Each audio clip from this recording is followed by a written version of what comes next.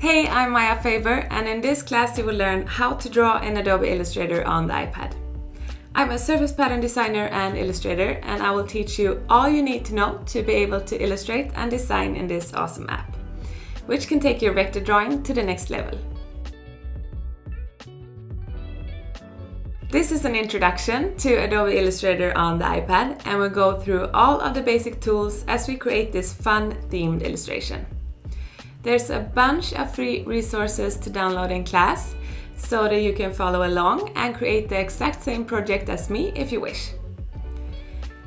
This is a beginners friendly class. It's for illustrators, graphic designers, surface designers or hobbyists who wants to learn the basics of the app. By the end of this class, you will be able to create a vector illustration in Adobe Illustrator on the iPad and you'll know your way around the basic functions and features that the app offers, so that you can use this amazing app for your future design projects.